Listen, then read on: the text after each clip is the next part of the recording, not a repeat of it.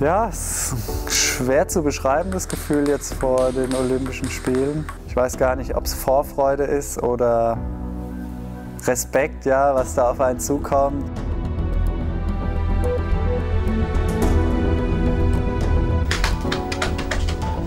Ja, Kämpferspiel vor Borussia Düsseldorf! Ja, das waren harte Spiele. Auch das Finale gegen Saarbrücken war unheimlich eng.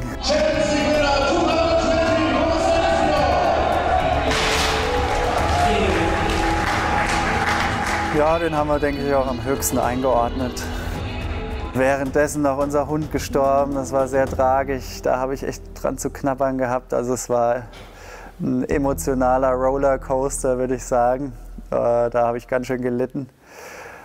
Aber war natürlich schön, ja, das mit, mit dem Erfolg abzuschließen und äh, ja, von daher mit, immer eine Erinnerung mit einem weinenden Auge auch, aber auch mit einem lachenden.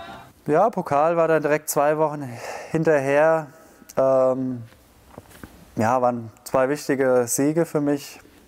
Auch gegen Calderano gewonnen einen Top-Ten-Spieler mal wieder geschlagen. Und das sind immer so Erfolge, die, die man auch mal braucht, ja?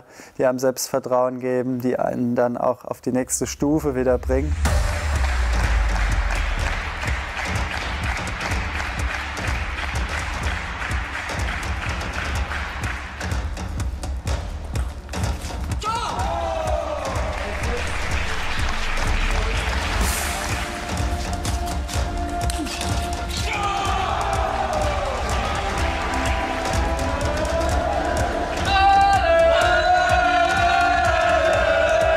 Das hat uns auch alle sehr stolz gemacht und auch sehr erleichtert, weil bei so einem Rekordverein zu spielen und mal zwei, drei Jahre nichts zu gewinnen, da entsteht doch ein ganz schöner Druck. Deshalb ja, war die Erleichterung schon sehr groß, vor allem nach dem Champions League-Erfolg im Dezember.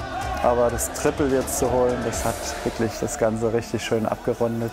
Ich hoffe, dass das ein gutes Omen für mich ist, ja, einfach viele Wettkämpfe jetzt kurz vor den Olympischen Spielen zu haben, weil das ist das, was ich brauche.